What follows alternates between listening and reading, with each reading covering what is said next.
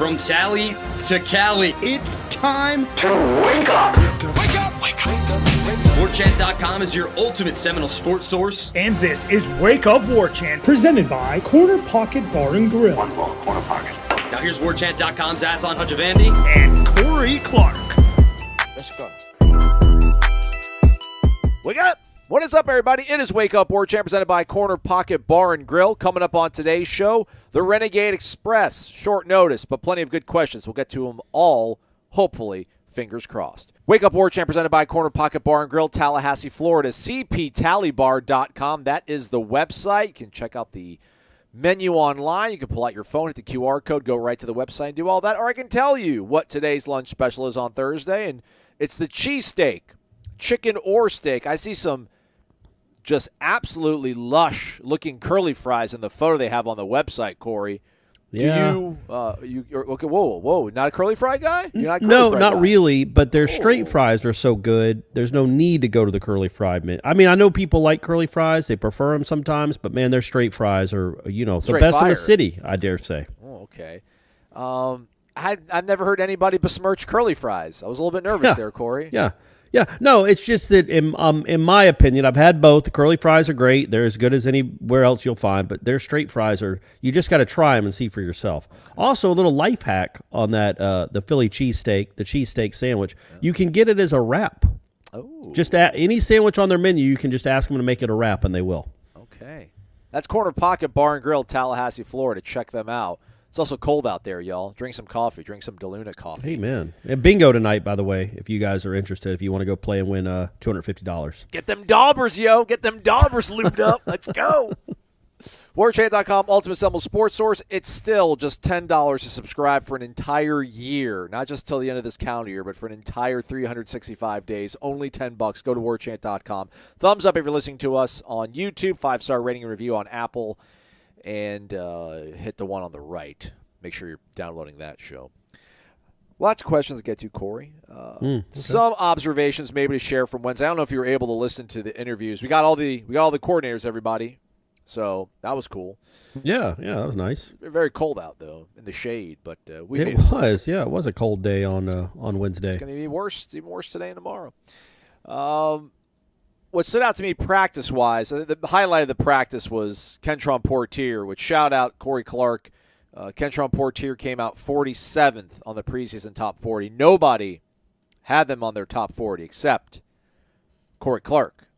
Oof. So, uh, I mean, he made this absolutely sprawling, like dive, falling back, full stretch. I think it was Malik Feaster in his kitchen, one hand in the face, one hand playing the ball, and Kentron just goes up, gets it, falls back, holds on to it the entire process, and uh, completes the process of the catch.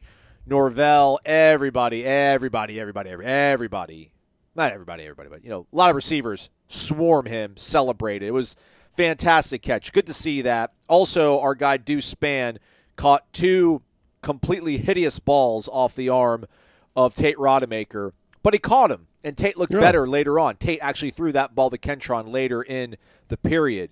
Uh, one of the balls to Deuce was just horribly underthrown, dead duck, but Deuce stops, makes the adjustment, caught it. It was still like a 30 yard gain.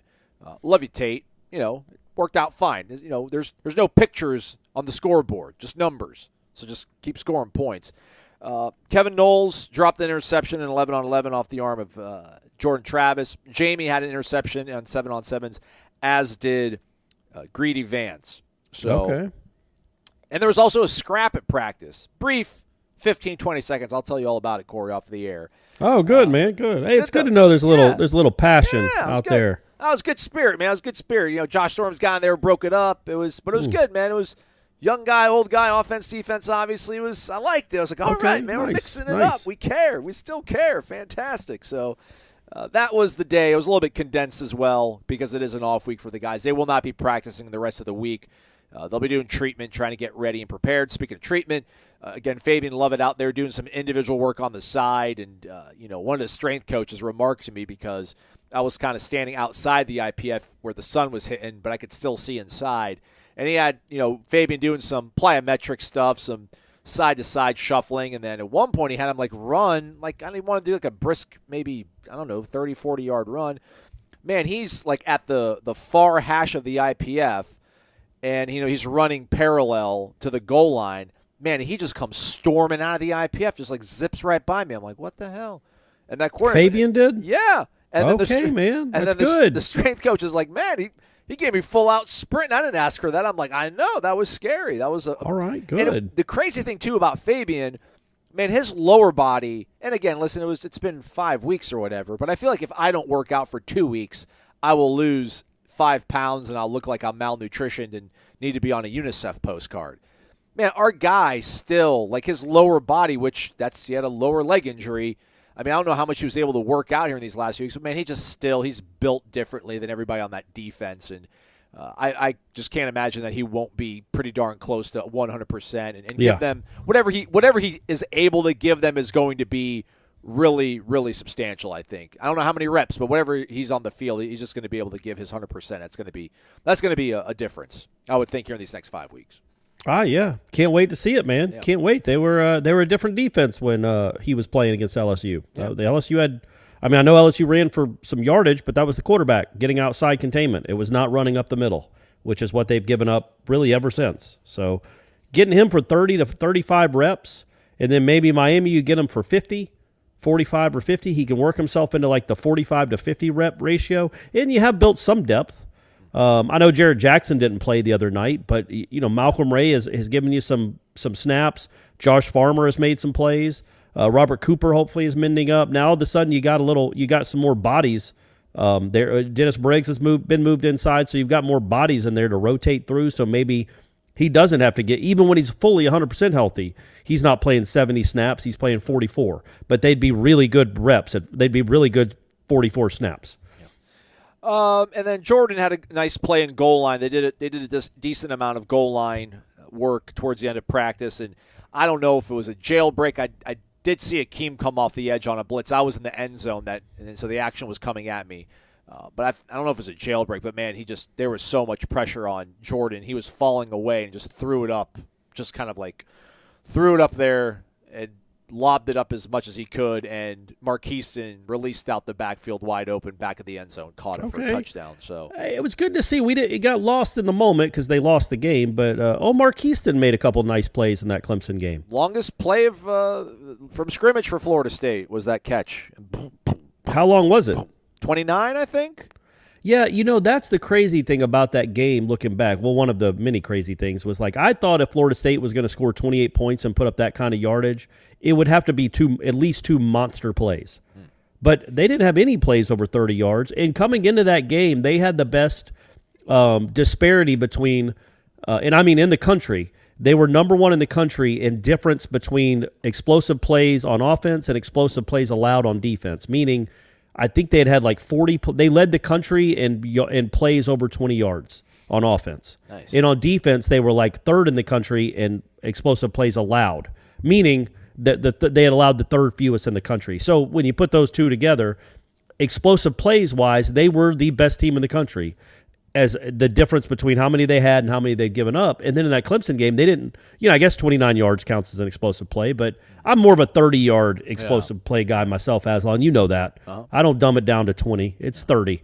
Um, but yeah, they didn't have any 30 yard plays. Clemson at least had two, maybe three, uh, plus a 70 yard kick return. I, I just would have thought that if Florida State was going to score at all against that defense, it would have had to been like last year, a 70 yard crazy Lawrence Toafili touchdown, because I didn't think they could sustain drives and, and move the chains like they ended up doing. Now again, they didn't win the game, and there was that stretch there in the middle of the game where they were not scoring points. But to start the game and to finish the game, they moved the. I mean, they they did it without the without the benefit of the big play, which I didn't even think that was possible going into that game. So kudos and kudos to Biscuit, man. Yeah. Go go keep making some plays.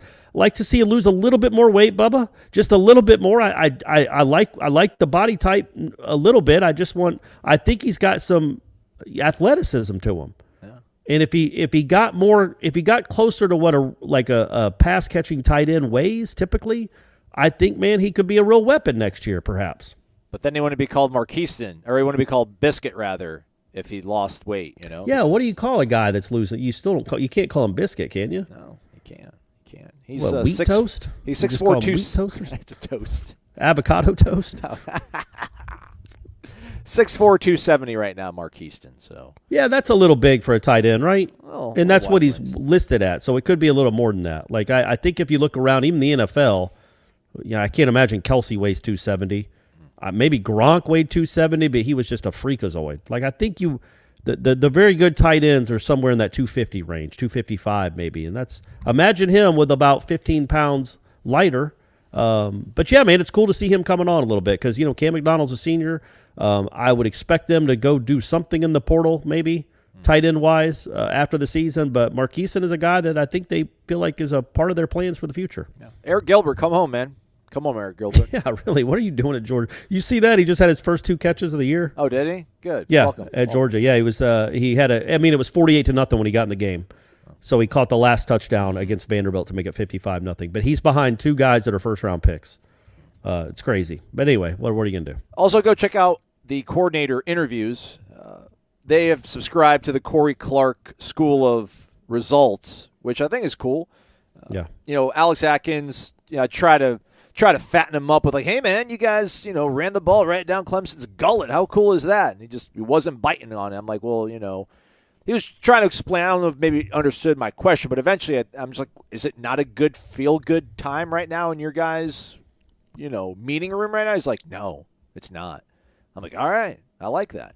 And then Adam Yeah. Fuller tried to kind of lob him up a little bit, not not throw anybody under the bus, but just like, hey, I think that's the fewest amount of points Clemson might have, might have scored against a, you know a team this season, at least in, in conference with 34. Um, actually, no, I think they scored less against NC State. But just like, hey, Yes. you're not getting all the great leverage in the world as a defense. The amount of field you have to cover is like, eh, I don't care about that. He's like, as long as they get the ball on our fi- on our side of the 50, we can't let them get a touchdown. We just can't. Just can't do it. Can't do it. We got to get better at it. So he's not looking for excuses either. They're they're focused on the process and the standard. So I know some people want these guys out of here or whatever, but um, not these guys. Adam Fuller. Let's just call it like it is. But I, I think it's misguided. I think it's misguided. But go check out the full interview. You can hear his explanation on things. Growing up, my dad used to take me to the game at the stadium. We'd watch our favorite team play, and then we'd always eat at Zaxby's. That's why it means so much to me that Zaxby's is the official chicken of college fans. To me, they go together perfectly. It reminds me of my dad and Oh, come on, Ref! Are you serious? Get some glasses! Terrible call!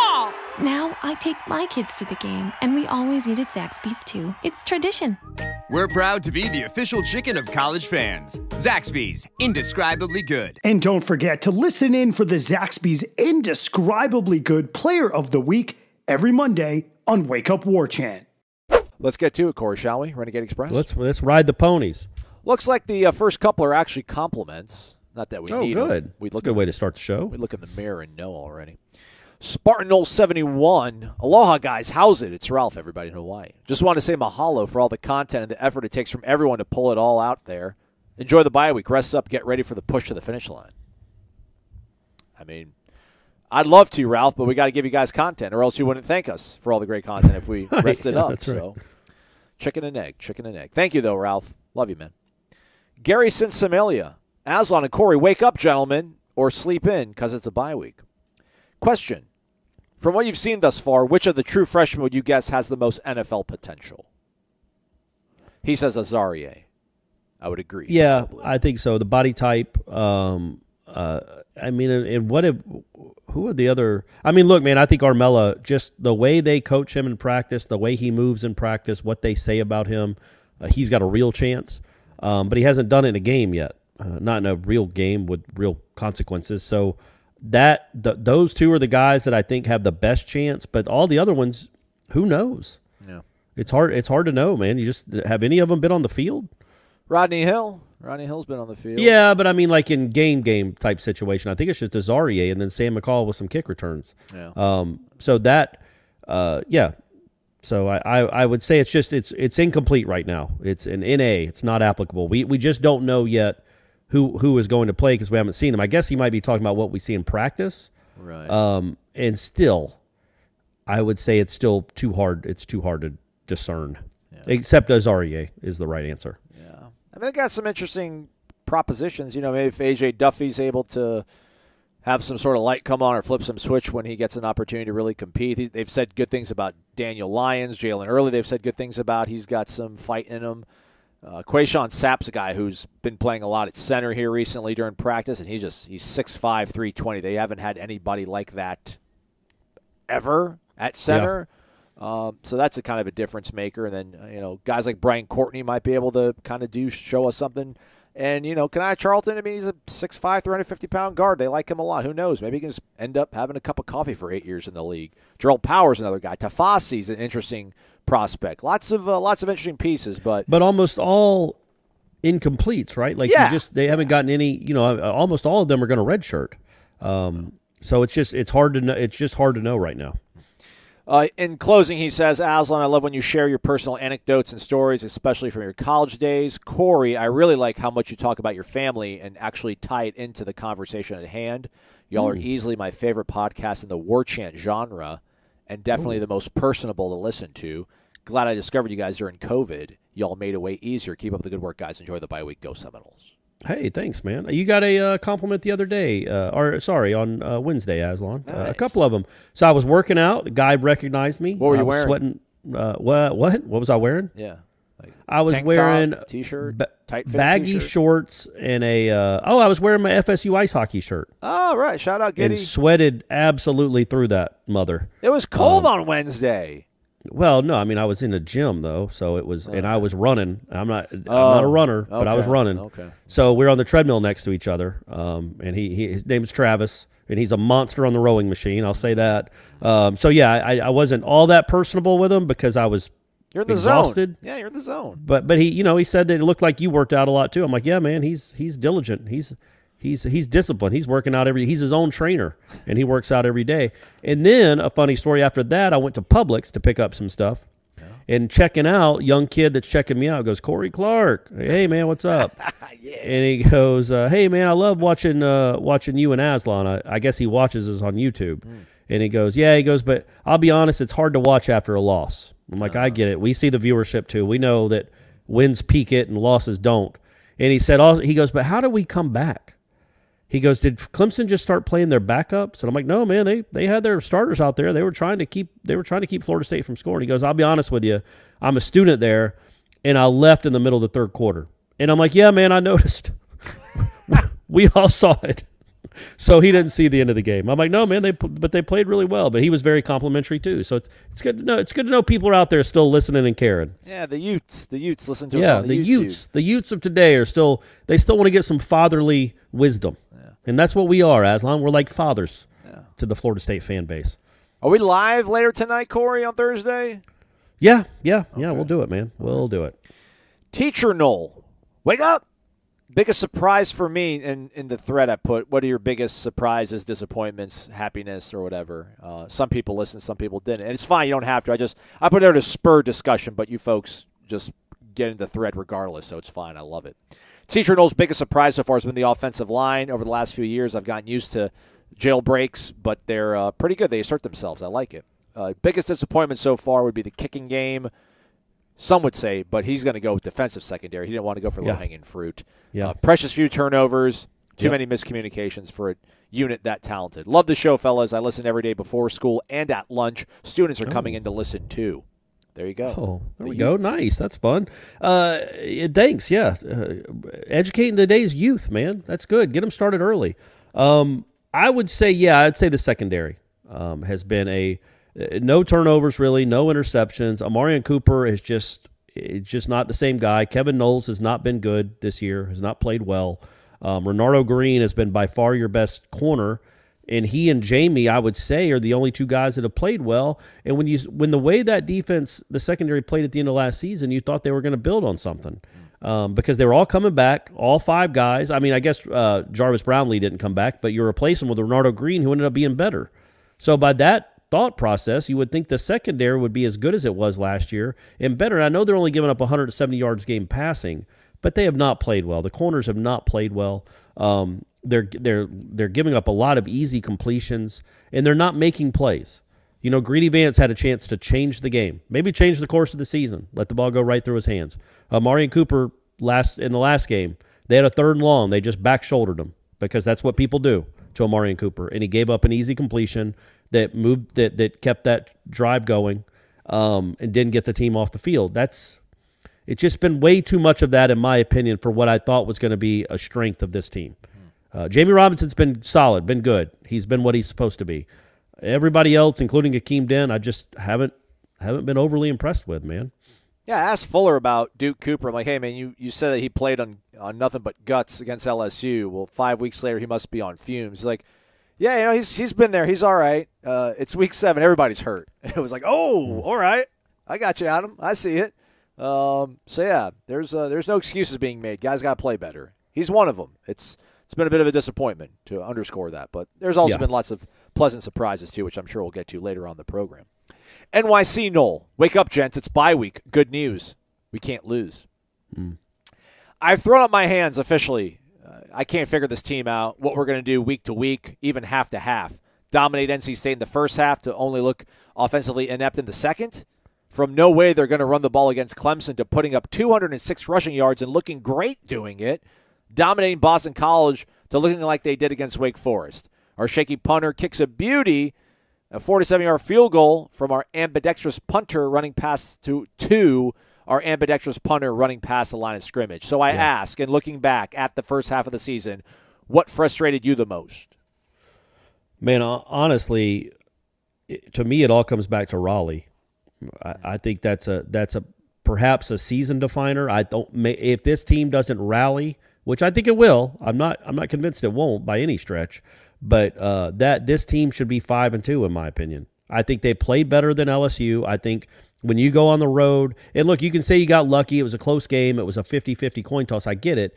But you had to play a whole half with your backup quarterback, and you lost your best defensive end, and you didn't even have your best defensive tackle, and you beat Louisville at Louisville. You went and earned that win. Oh, right? yeah. Oh, yeah. You earned that win. Yeah. Um, with, with, with, and then LSU, I thought you were the better team, and you just collapsed there in the fourth quarter. So their record should be five and two, man. They're better than NC State. I don't I don't know that they're better than Wake. I, I in fact I don't know how you could argue that they are. But um uh, and they're they're not as good as Clemson. They played with both those teams. They could have won those games, but I feel like those were fair outcomes. The NC State game was not. You blew that game, and so to me, that's where it all lies right now. If you're sitting five and two right now, um, you just the whole the, you you still have a chance at ten wins. Now you wouldn't probably get it, but uh, you you would if you were five and two right now, coming off a six point loss to Clemson, and your only other loss was a you know sort of a one score game against Wake Forest.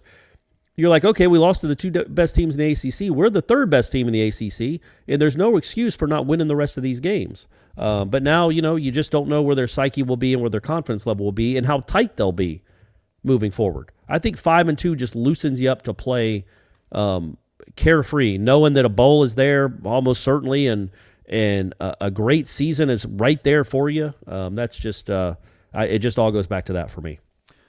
That's fair. Uh, maybe on a more micro level for me, it's just it's been the play of Jordan Travis because I just for so long have been very skeptical about him and, and the way he played in those first four games, especially how you saw him operate against Boston College. You're like, man, this guy's completely different. And then on top of that, you hear what his head coach has to say about him, and it was, I mean, strong praise, assertive words, special. I mean, elite. These are the name. These are the words, the adjectives we were hearing about it.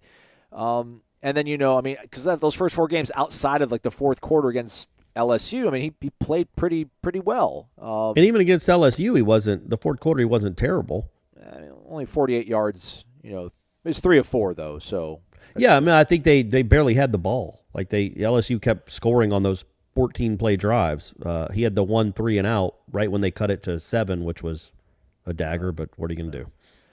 But you know, just to to look that sort of that frustration, that spiral that kind of started after the first drive against Wake Forest, and then you know the decision on that final play against NC State, some of the plays against Clemson. I mean, I I'm not going to beat him up too much on the fumble. He was trying to do the right thing, but I mean, you just cannot fumble there. And earlier on a fourth and two, I don't know if I'm looking 26 yard. I, I kind of I like the spirit of that. Like it's fourth and two. They're probably not expecting us to go intermediate or shallow. Let's go to the big target that that guy on the one podcast has to throw it to on every occasion. But it hmm. wasn't there, man. It, it was not there. Why why do that? And you know, it just little things like that. The frustrating thing is that I've I've seen what everybody else has been so hopeful about, and I believed in what the coach was saying about him, and then in- these last three weeks in these crucial situations is where when you need to play elite, where you need to show that you're special. Some of the plays, some of the decisions have been lacking. So uh, that's been frustrating because I you really thought that- it turned the corner and we had something good there. I, I it's about I don't I, I I don't agree with that take necessarily because don't don't you think I mean he still played well against Clemson. I He don't think he did. I don't. I don't agree with. That. I mean. I don't know who who else other than Sam Hartman is doing that to Clemson, and Sam Hartman has the benefit of that crazy offense and those doing just throw it what, up to the wide I mean, receivers. outside until the fourth quarter. When again, I mean, I'm not saying they they quit, but they're they they saw that stadium emptied out. They were up by 20 points or whatever it was. Clemson, like they kind of they thought like we're we're going to be in a in a bar fight for four quarters, and like actually, man, we. We've kind of run them off their own field here. I, I think there was some sort of complacency that came into Clemson's head. Now, credit to him for taking I advantage mean, of it. again, like doesn't com- wouldn't that always happen then? Clemson's always way ahead of everyone for the last decade. This that what that what Florida State did offensively isn't something that other teams, when Clemson's been complacent, has been able to do. Well, they ran the ball great when it mattered. Yeah, they ran the ball great. I'm not the, the run game was great. The quarterback I don't play I don't was know not, that I, I I don't know that when you're up 13 points in the fourth quarter, you're just complacent. You're trying to stop them. Like if they score here, guys, they recovered an onside kick. It's a game, and Jordan Travis still made those plays. Um, I didn't like the throws to Johnny in the end zone. I also don't like the way that's coached up. I don't understand why he's even throwing the ball 40 yards for a two yard gain. I, I don't know why Johnny's not on the short hash and you're just lobbing it up to him like a post entry pass instead of having to be fine with it. I think that comes back to coaching. Like he needs to know hey, man, you're not trying to put it in a tiny little window at the pylon. He's Johnny Wilson. He's six seven, man. Lob the darn thing to him. Um, but overall, man, I mean, again, we go by PFF. We use PFF a lot on this show, probably more than we should. Jordan Travis is like the ninth ranked quarterback in the country out of 133. Has he played like the ninth best quarterback the last three weeks? Man, you trying to tell me did I- against NC State, against Wake Forest for two and a half quarters of it when it matters, when that game was hanging in the balance? I mean, That's- is I that can be how we do it though? Like all, all quarterbacks have all quarterbacks have those moments, man. Other than 13 Jameis, all of them do. But you, you you're gonna struggle, especially against NC State and Clemson's defense, man. Like that does happen. I think he gives you a very good chance to win the rest of these games. He is not super super elite. He is not the best play. He's not Bryce Young but he is he is a good quarterback and he's playing well and I just I don't want to dismiss 320 yards and three touchdowns against that defense because of again a dumb throw on fourth down. You could say I mean I, that was just dumb.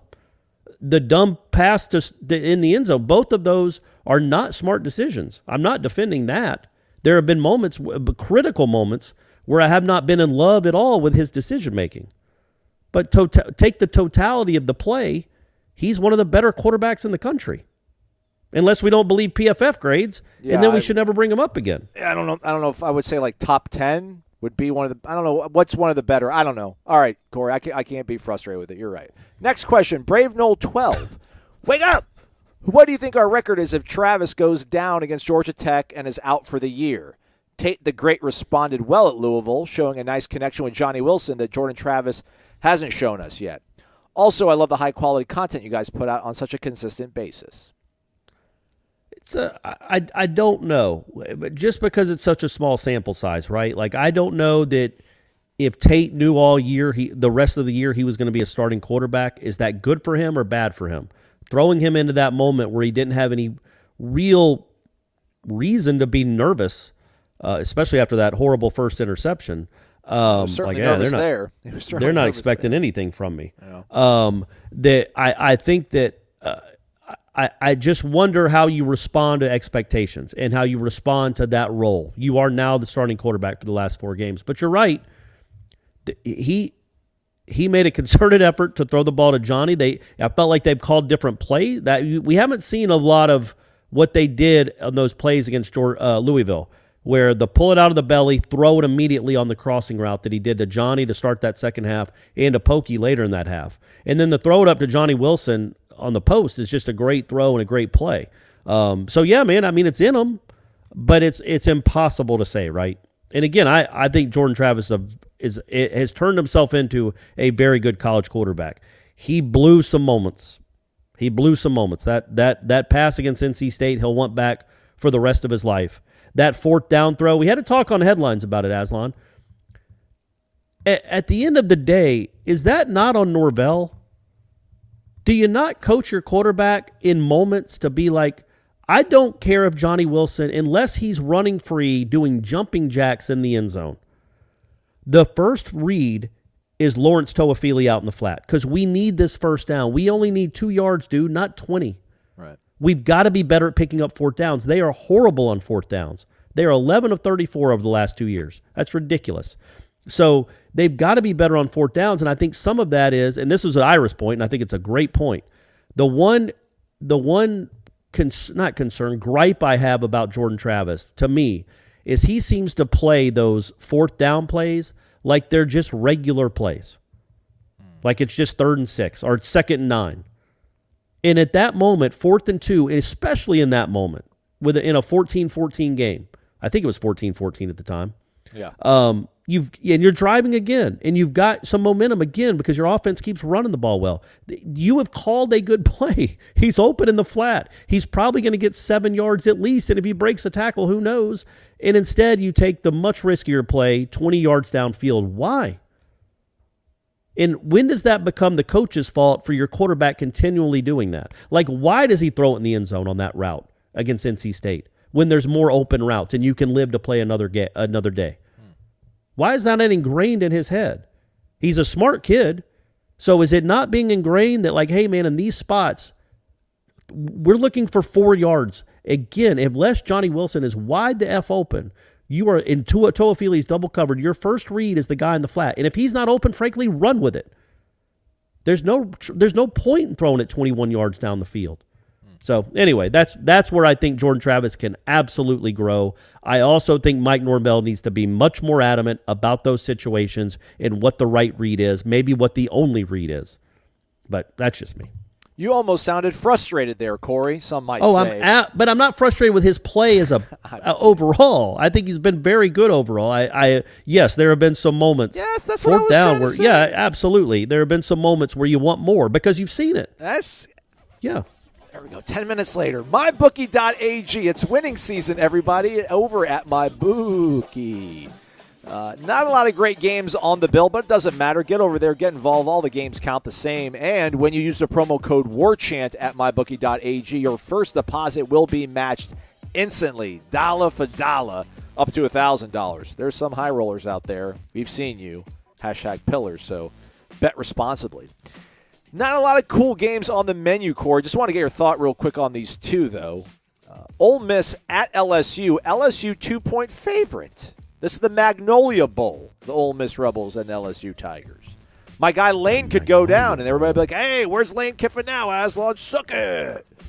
Um, that's weird. LSU's favored by two, but that offense has kind of come alive, and Ole Miss's uh, defense looked pretty porous. What do you think? And Ole Miss didn't look all that. Yeah, they have not looked good. And then um, they didn't look great against Auburn, right? Yeah, correct. Yeah, uh, I mean, they did run for 450 yards, but they gave up 300 yards rushing. So um, that's crazy, by the way. Uh, so yeah, I guess you're thinking, yeah, LSU's going to score a lot of points. They're at home. They have a much better defense than Auburn. So we'll, we'll I guess that's the thinking there. And then Ole Miss is bound to lose, right? What is Ole Miss going to go undefeated? Are we living in a world where Ole Miss is going to go undefeated? No, they're, they're bound to lose. Yeah, they'll play Bama too, obviously, and get their comeuppance. Bama ain't no great shakes. Bama should have three losses this year.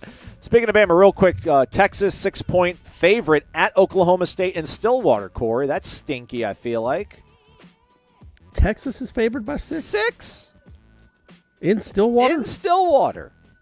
Huh. Yeah, I, I think I would. I feel like, and Oklahoma State's coming off a loss, right? Tough one, yeah, against Yeah. TCU overtime. Yeah, I feel like I'd. I, yeah, I, I like the Cowboys in that one, buddy. Right. Home dog, a good de- a good team, good defense. Home dog. Yeah, Texas doesn't win big games. Hasn't made it a habit lately. That's I like Oklahoma State, man. MyBookie.ag. Use that promo code WARCHANT.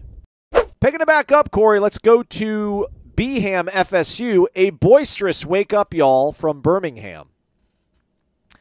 With Mycah Pittman, Douglas, Ja'Khi, I would assume, and potentially Winston Wright in the receiver rotation, do you see the wide receiver screen game potentially being an X factor to this offense not only opening up the run game, but also leading to deep shots downfield, courtesy of the pump fake. Yeah, I feel like they tried that a couple times because they they crushed them with the screens. They did a really good job. I thought Jordan was good at just getting the ball out quick. Um, and I, you know, there were there were a couple that were risky or didn't go anywhere, but most of them you got positive yards, at least six or seven. Some were much bigger than that. I also love the way Johnny caught one of those and just tore up field. Um, and got like 17 yards out of like a six yard pass. That was good to see. He was running hard, and Mycah always runs hard. But yeah, I do see that. I do. Uh, I I think it'll help this. Those are safe passes that get you into a rhythm, but also it sets up deeper stuff down the field. It didn't against that team. They're well coached. Um, they kept everything in front clearly, but um, but yeah, I think it can certainly open up some big plays later on in the year. And it's those are nice weapons to have, man. Ja'Khi Douglas on a, in the screen game. Uh, I, we don't know Winston Wright what he would do with it. I assume he would do well. And then Mycah Pittman. Those are nice guys to have with the ball in their hands. They can make plays. I want to say um, Ja'Khi caught a touchdown against Clemson, right? He sure did, buddy. I want to say that play they were marching down the field and they stopped everything and did an entire personnel change out wide. And I was like, yeah, let's stop what we're doing right now to bring Kentron Poitier and Ja'Khi Douglas on the field. Mike, what are you doing? And then they threw a touchdown to Ja'Khi Douglas. I So- think a lot of that is the players doing it themselves. Like they don't want Johnny Wilson or any of those guys to be out because I mean, you think about especially if you're passing almost every down. Yeah. That's a lot of sprinting, and you're exhausted. Now it's in the NFL; these dudes never come off the field, but I think in college there is a little bit more of that. Um, I don't know if it's the receivers asking out or if Dawsey and Norvell are changing them out. Dawsey. Um, sorry, Dugans. Uh, sorry, you, sorry. Doss. Miss Doss. Doss. Um, uh, yeah, is Dawsey calling Dugans, texting him like, "Hey, man, Johnny's that's six plays in a row for Johnny. Get him out of there." Um, so yeah, I, I don't know who's, but that, that's a I've noticed that too. But I do think that they are in a nice spot now where you're you're not losing a ton when you go from number one to number two. It- Maybe with depth. Yeah, it's good to have depth, man. It's good to have depth. And uh, Poitier caught that's a great catch he made. Yes. um, Oh, yeah. Great adjustment. for the for the last touchdown. M. Adams CZ, it's Mark. Wake up. It's a bye week, so let's keep it light. If you were in Tallahassee for a game day and did not have to do all the amazing coverage you do for Warchant, how would you spend it? 3:30 kickoff, he says. He would go grab breakfast and then head to the CP for a Bloody Mary or two and hmm. some of those famous wings that Corey loves. Then rent one of those scooters in College Town to take in the scenery, stop by a tailgate with some of the pillars, then I would go watch the Noles get a big win. Something tells me I'd be in bed by 8:30. LOL. What is your ideal game day, boys? Beat Georgia Tech convincingly, and let's get this train rolling again. Go Noles. Yeah, I, we got some tailgates that Stephanie, you know, she's befriended some folks. Well, one of them is Bill from Corner Pocket and his crew with Spencer and those guys. So I go out, we'll go and do a tailgate there. I'm not drinking, but I'll I'll certainly partake in some register sausage and all the fixins. And then um, on Saturday we went over to James B's tailgate. Um, he's got a great setup, man. He's heard, got this I've little. Uh, he's in the kind of shaded area, um, in like this little ravine, this grassy ravine behind all these. Tr- it's really a cool little spot there. So uh, yeah, that was cool. So hang out with him and uh, Shane and Michelle and Eric Angel. So that was fun. Uh, but that's probably what I do is just go from tailgate to tailgate and take a bunch of pictures with people. Hey, there's Corey Clark. You know, you know how it is, Aslan. You know how it is. Uh, but yeah, man, that's the thing. I I've been to a couple of Georgia games in the last decade or so. Um, some Falcons games when they're making their playoff run, but I don't I don't really ever get to tailgate tailgate. And I don't ever get to go in as a fan. And that's that's something again, nobody feels sorry for me. Nobody's playing a violin. I get to I get paid to go cover football games. But I do miss that. I do miss being able to leave a game and immediately go party and celebrate a win. Yeah. Uh, not okay. I'll see you in two hours. See you in two and a half hours. Um, and I tell you this, Aslan, no matter how many games you've covered, the people that are close to you in your life, no matter how many times they've gone through it, after about 45 minutes after a game is over, they will text, Are, are you almost done? Are you almost. it's like, babe, no. We just now got done with Norvell. I still have to do stuff. So yeah, they they don't ever quite grasp that. So that's the bummer to me. Isn't even really before the game. It's after the game, not getting to, not getting to uh, partake and celebrate. I, I need a, I need a breakfast. I always need some sort of breakfast. I need a breakfast, and then I maybe I'd go to the Palace, get like a picture at the palace, and then I'd, I'd probably, if I was by myself, I'm, this is all if I by, by myself, then I'd probably go be old creepy man at uh, College Town and pay for a bunch of drinks for some 22 year olds, uh, some KDs, maybe some Tridelts. There you go. Uh, have them, you know, make me think I've got a shot, only to see them walk away with a bunch of, uh, you know, delts. Younger- younger then, people? Like, oh, it's got taken for a ride. Right. But it's all right. We're going to Doak. We're going to watch a dub. So that's how I'd probably do it. Otherwise, okay, nice as long. uh, I'd be in college town with my with my crew and my guys, and we'd just you know we we'd be old creepy guys together, and we wouldn't get distracted. We would just have fun and reminisce. So, but yeah, I, I do miss it. Shout out though to noon game times. I'll be done. I'll be able to maybe frolic around town afterwards. So that's cool. Um, this next question does not look anything related to football. Buckle up, Miss Webb Silver Chief. Wake up! How's it going, gentlemen? I have a personal question for fun. Okay, for me apparently. What would happen? Uh, she says a fun question for Aslan. What would happen if you met a young lady online? Let's say she's 33, attractive, never been married, no kids. She listens to to my preferences. Shout out to Miss Webb Silverchief. Has a great job in Tallahassee, intends to stay in the area. She's even in sync with you culturally and heritage wise, whatever that means. Hmm, Um, okay. Actually, I, I met a Persian girl, uh, but she wasn't 33, so I'm like, maybe she's trying to talk for her friend. However, there's a catch. She's a diehard Gator fan and a Florida grad. She digs you a lot. Do you give the relationship a chance? you better. Yeah, now I would. Uh, I, I'll be honest with you. Like I was, I I hate Florida so much. I convinced myself Erin Andrews wasn't attractive. I'm like, ah, what a time. She's overrated, man. Totally. Right, You see yeah. her nose? Ugh. Mm, yeah. Totally overrated. Um, I was that guy. Absolutely. As a guy, uh, I, I will say this though. I think, I think Florida State girls, Florida girls are kind of on the same track. I just think there's a difference between a guy that goes to Florida State and a guy that goes to Florida. We are a different breed to a certain degree. So if you're a woman and you were a Florida State lady and then you were going to go after a Florida guy, but careful. Here's careful. the thing, They're though. different. So, like Stephanie is a diehard Browns fan. I don't care about the Browns, Right. obviously, but she's diehard, and it's a lot of dying. Um, and and you know, her dad was a season ticket holder forever. Never got to see him do anything but suck. And uh, and- well, I guess they were good in the Earnest mid '80s with. Bernie Byner, Kosar. Bernie Yeah, yeah. but even then, they just blew it. So, um, so she's never gotten to see them be any good.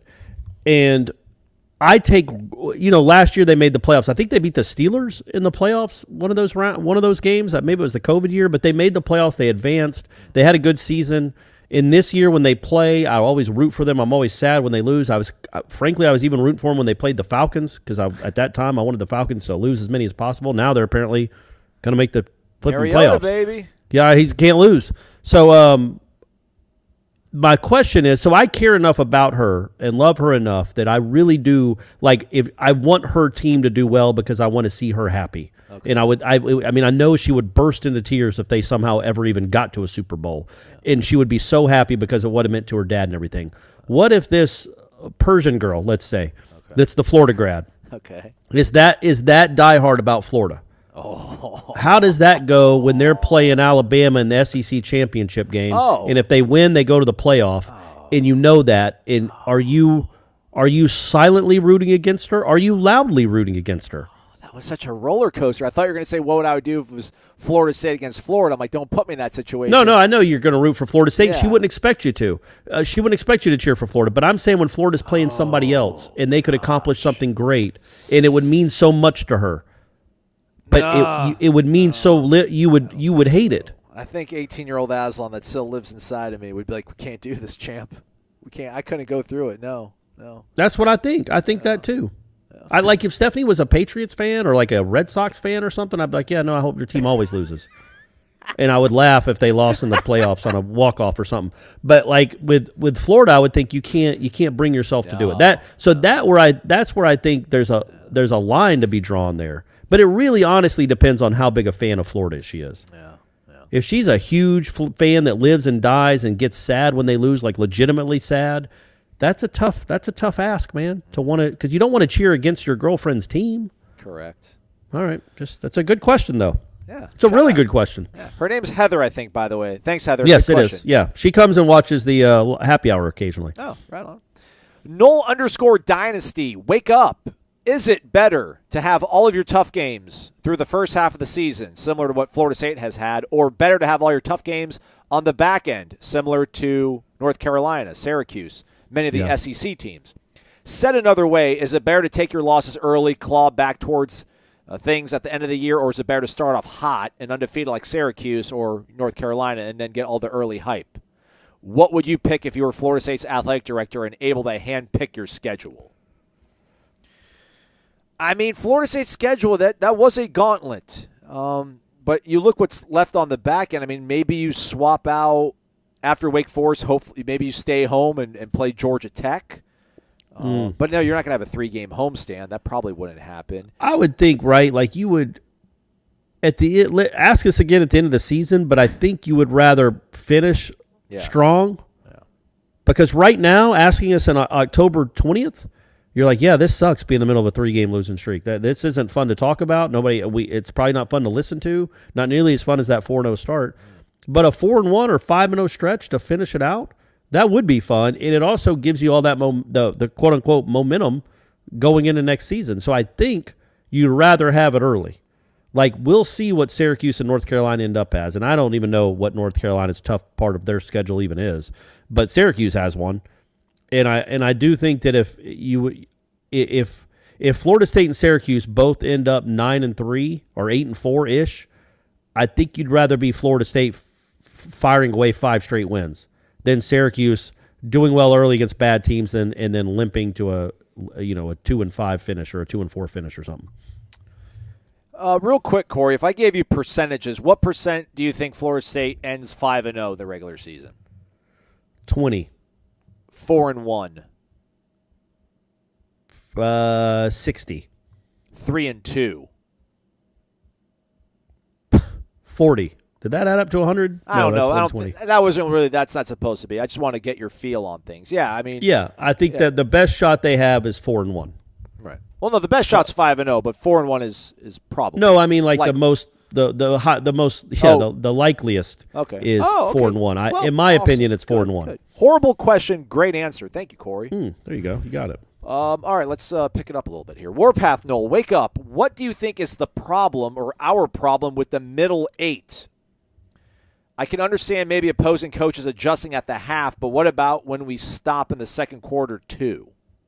So yeah, these um, the middle eight. So you know, kind of. Uh, I don't know if you're talking about the second quarter, the third quarter, the middle eight of the game, or just the, the second part of quarters after we kind of go cold. Um, I don't want to put words in his mouth. What's what's the problem with the middle eight, Corey? Um, I don't know. And again, I you know I've talked a lot about how much we like Norvell and what he's building, but this is uh, problematic to me. Um, I don't like these runs that they let, allow teams to go on. These game-defining, game-changing, can't come back runs that you know getting outscored by 28 against Wake Forest in a two-quarter stretch. Saint Wake going or Clemson 27-0. Um, that's not great, man. I don't know. I think you know, part of it is I think maybe I, I don't know why your defense, when they give up one touchdown, is like, let's give up three in a row. I, I don't understand why that happens. They don't do a good job of and maybe this is the this probably comes back to coaching, right? You, you they don't do a good job of dissecting what's working against them and then changing it quickly. They do change it, and it does end up they they do end up figuring some stuff out and making plays in the second. Well, not against NC State until the final four minutes, but uh, the, uh, offensively, I'm talking about. Um, but you know they they typically do a good job of adjusting to the adjustment at some point, but it really doesn't happen fast enough for my taste at all. I don't know why. I really don't. I don't have an uh, opinion on that. Uh, I don't know if that's something that's always um, hampered Atkins, Norvell, and Fuller. But yeah, that's that to me is a is a very good question. It's it's and I I don't also don't understand why you always feel the need to give up a touchdown on the first drive of the third quarter. That just doesn't, especially to teams that aren't. Well, Wake Forest is good, but Clemson's offense isn't incredible. That now that was just a one play. Yeah. That was a one play trick play, but still, you know, you gave up a touchdown right before the half. You gave up start the second half. They scored 14 points before you got the ball again. That's rough. And then uh, NC State, you let them go right down the field, which was just ridiculous. So yeah, I don't know. I don't know. I don't know why. I do know that it needs to be fixed because this team is to a point now where it can win every game it's in. Clearly, we've seen that.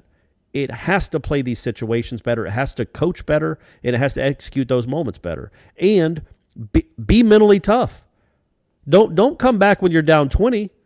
Come back as soon as they've scored a touchdown to take the lead. Make the plays that matter when it matters. Don't let a team just go on a huge run before you decide. And it's not like they're deciding to play hard, but before you start making plays and getting back into the game, stop the run immediately. Like in basketball, you know, when a team's on a 6 or 8 0 run and Leonard will call a timeout, and then you devise a play that gets you a bucket or gets you fouled, and then you're back into the game and you've got some, you, you've stopped it, you've halted it. Florida State has not done a good job of that at all this year. At all. Going back to the LSU game.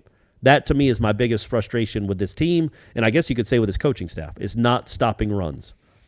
Yeah, I, I asked D Rob this in the chat on a different or the watch along, kind of on a different point of just, you know, how do they look so and I get scripting your opening drive, like you script it, but the remaining plays that you run in the game, you've probably ran those in practice as much as that script. Maybe not in that exact sequence, but the thing is, man, those opening drives, everything works everything works. It's crazy to see everything work and keeping that rhythm. And then as soon as you go on your next drive, one thing doesn't work, and then the, everything kind of stalls out. And I, I can't put my finger on it. And the thing is, they're just they're, they're so multiple, man. They've I just looked this up yeah. real quick. They've got they've got twelve guys that have caught at least five or more passes this year. Um, I mean, they've got so many different formations they run out of. It's like you figured they'd have a feel now for, all right, this isn't working. We can pivot to this, or we can put this guy here. And um, they're going to self scout throughout this off week, and hopefully they'll have some better answers uh, when they hit the field next Saturday against Georgia Tech. Let's do it. Let's do it. Uh, LeSean McCoy, Shady Knoll 25. Morning, guys. Corey, great to finally meet you at CP last Friday. Aslan, maybe next time.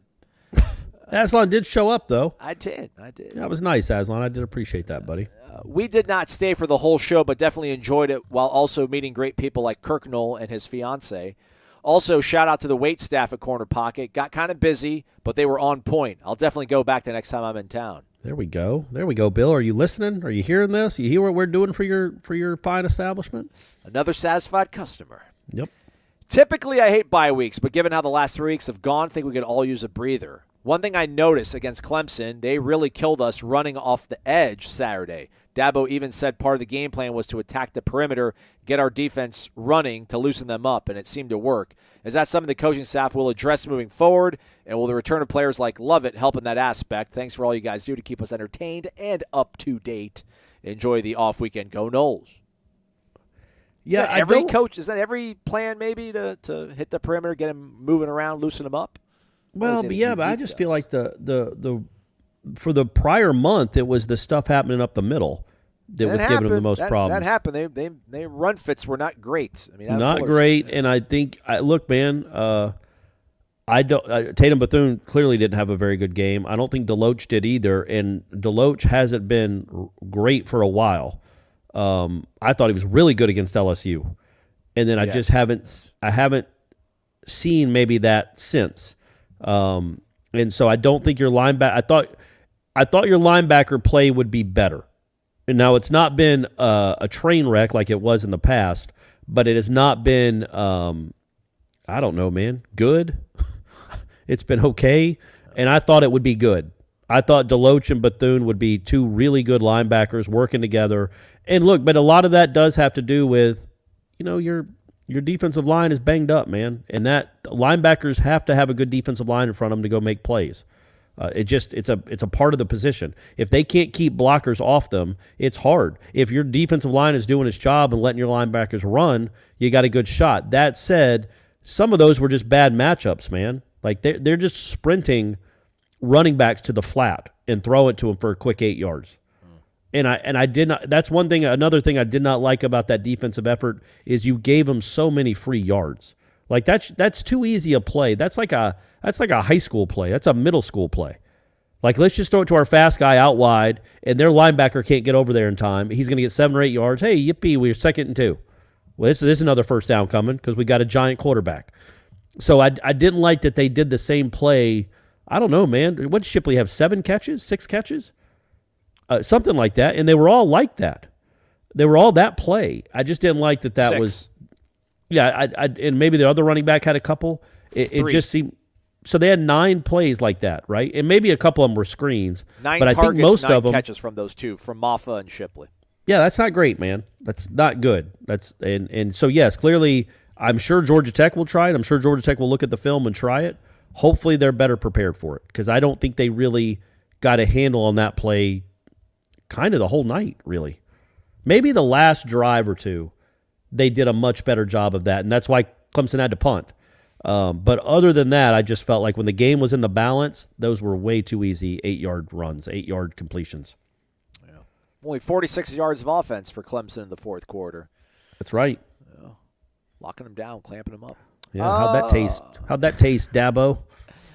Uh, let's see here. Next up, my truth. Wake up! It's fourth and two against any of our upcoming opponents. Do you run or throw it?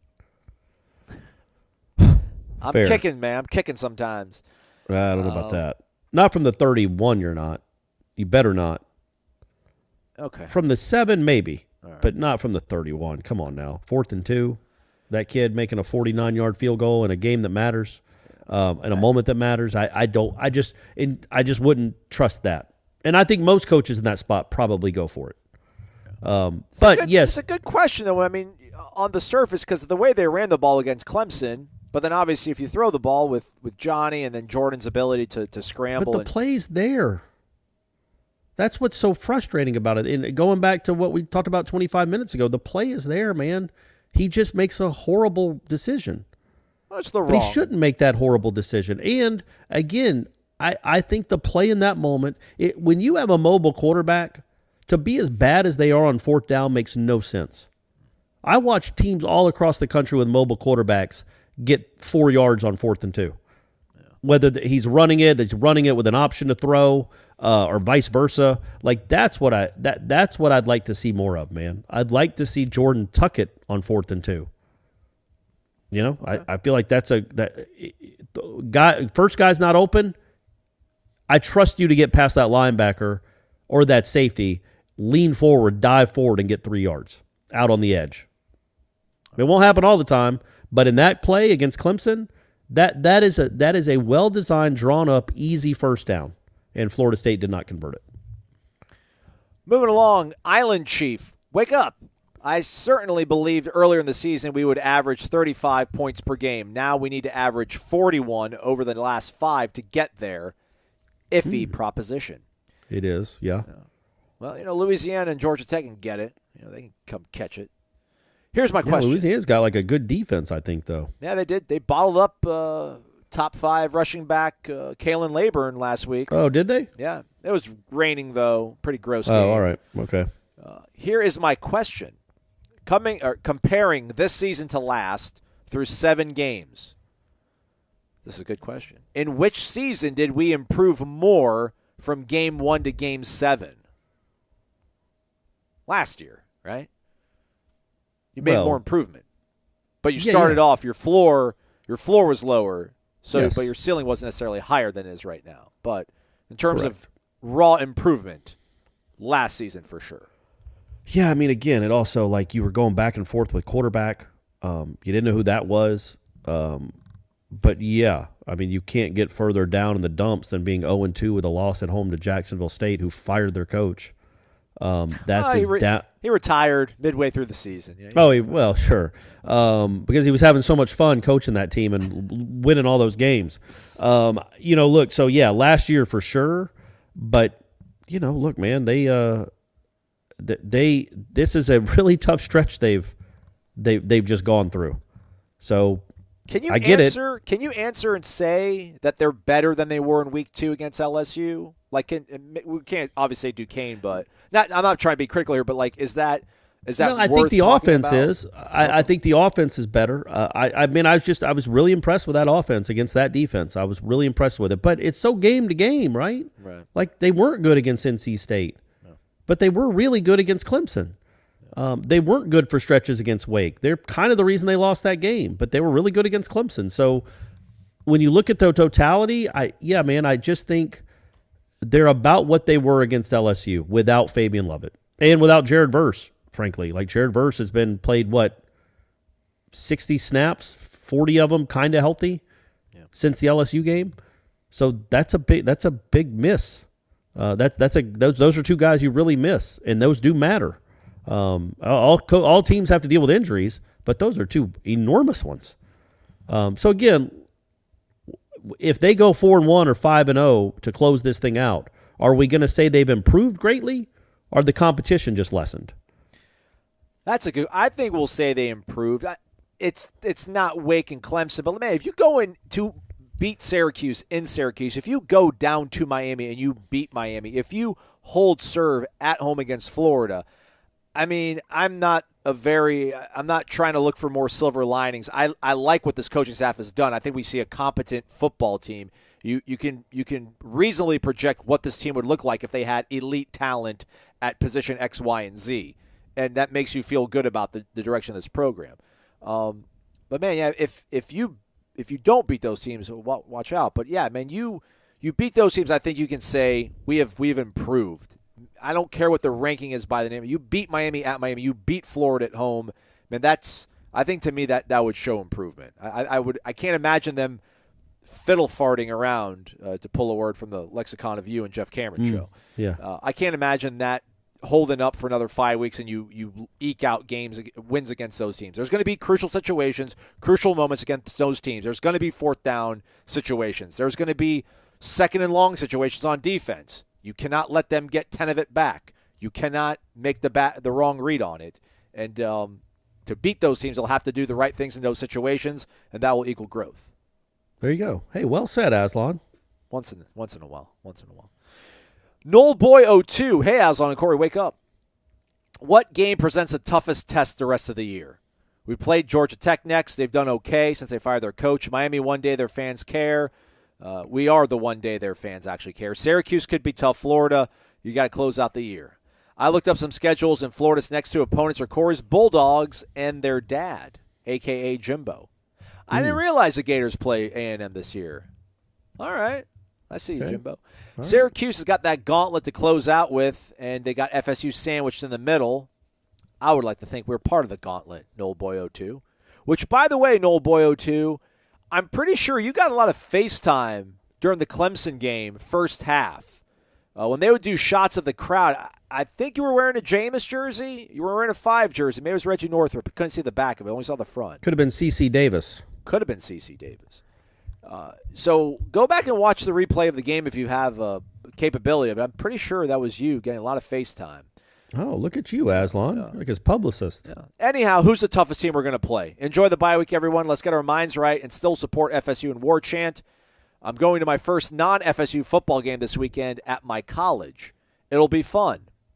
I didn't realize he was going somewhere else. I thought he, I thought he was a Florida State student. I like he's. I like how he's vague too. He doesn't want to Yeah, say. I right, wonder if he's a. I wonder if he's a, really a Gator. That's what it sounds like to me. He does. That's why he didn't want to say. I think they're off. I think they're off.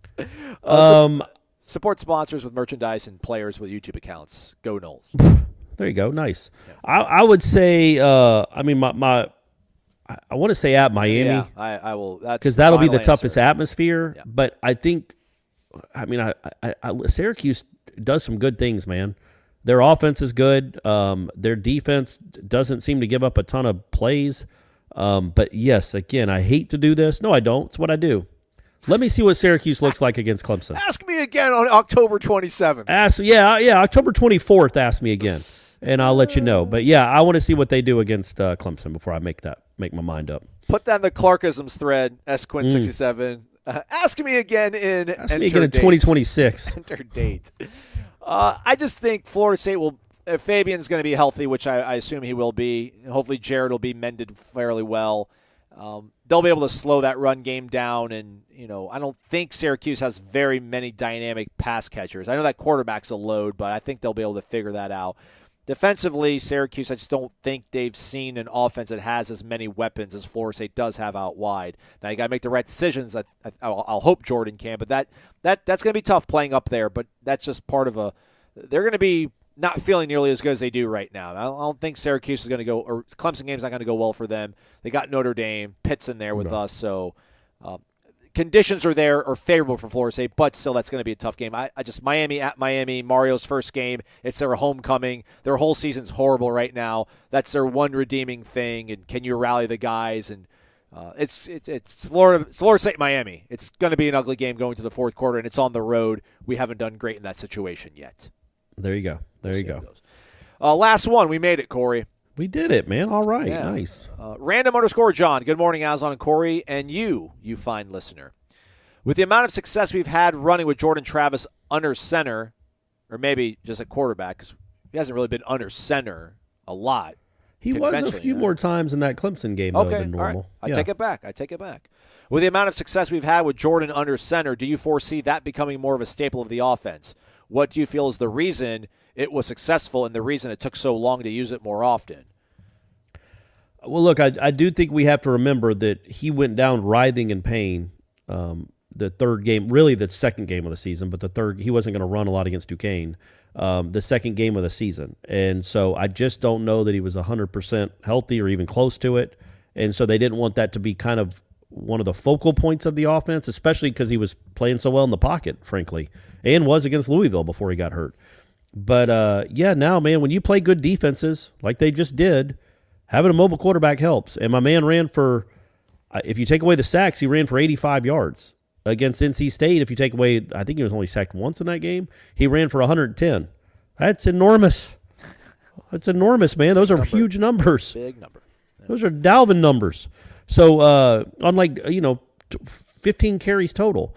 So yeah, I, I think that you know when you play good defenses and he's getting healthier, I think that becomes more of a a, a part of the offense. Now under center, I don't know how many times he was under center, so I can't really speak intelligently about how many of his scrambles and runs were done under center as far as are out of the shotgun.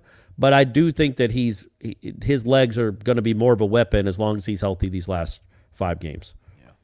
I, I don't remember seeing him practice it a lot, so maybe it's something they didn't want to deploy so much because they don't practice it all that much in the game. But then yeah, I think they wanted to get outside and, and get Clemson moving around, kind of to the previous question that somebody asked about what Clemson was trying to do, and, and probably not running from shotgun gives you a little bit more flexibility in what you can do in terms of like stretch zone runs. So that, that might have been factoring into it a little bit.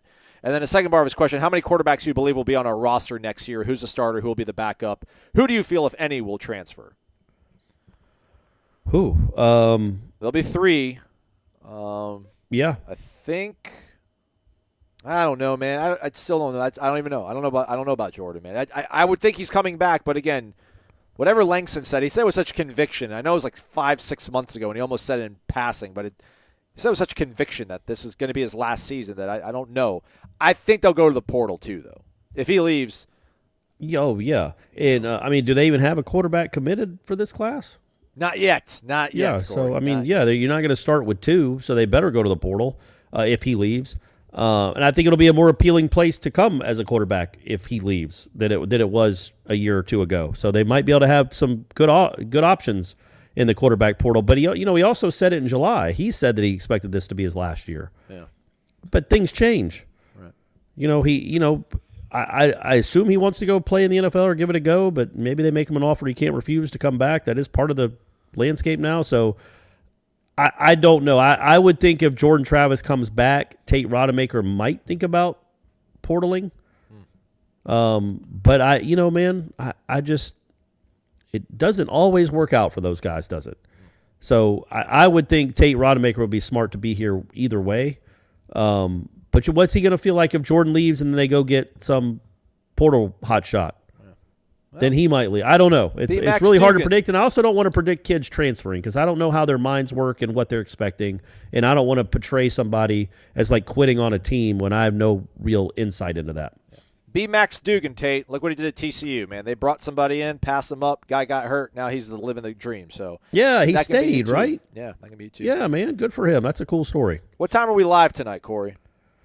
Let's do six. Let's do six.